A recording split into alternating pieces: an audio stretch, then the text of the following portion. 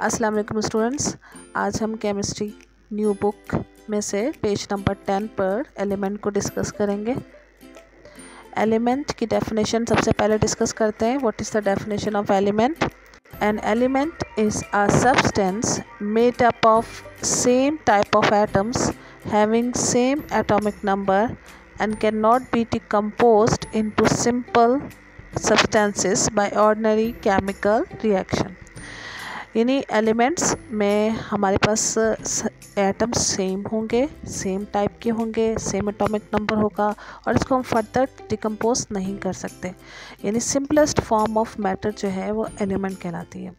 Simplest और pure form elements free state में भी मिलेंगे हमें नेचर में और कंबाइन स्टेट में भी मिलेंगे। जैसे कि सॉलिड लिक्विड और गैसेस स्टेट तीनों फॉर्म्स में हमें मिलेंगे। अब तक 118 एलिमेंट्स डिस्कवर हो चुके हैं। इन एलिमेंट्स में सॉलिड भी हैं लिक्विड भी हैं और गैसेस भी हैं।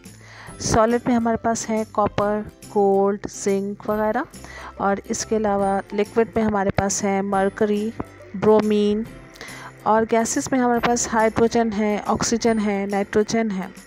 एलिमेंट्स को हम डिवाइड करते हैं मेटल्स में नॉन मेटल्स में और मेटोलॉइड्स में।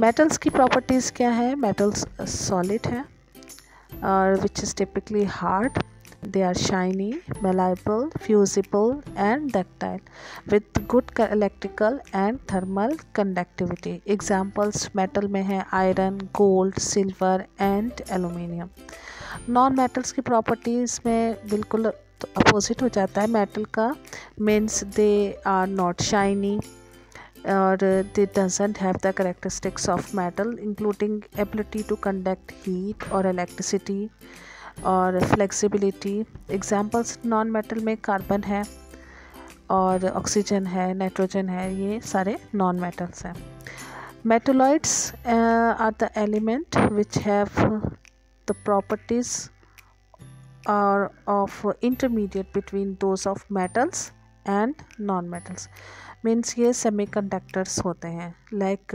एंटीमनी आर्सेनिक टिन वगैरह थैंक यू